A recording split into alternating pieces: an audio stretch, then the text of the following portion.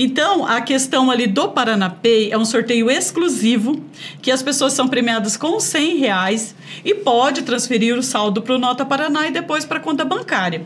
O Paranapay foi criado na pandemia para ajudar as empresas da atividade de turismo, que não tinha turismo na pandemia, mas aí nós tivemos um problema que os próprios empresários não aderiram à carteira digital, à bandeira Paranapay, porque era uma moeda. Uma Sim, moeda era governo gastar lá, Era era gastar gastar na- com locais. vínculo à atividade econômica. E a partir daí, a pandemia passou e nós liberamos esse, tiramos esse vínculo né, da atividade econômica. E o Paranapé entrega 800 mil reais, é muito dinheiro.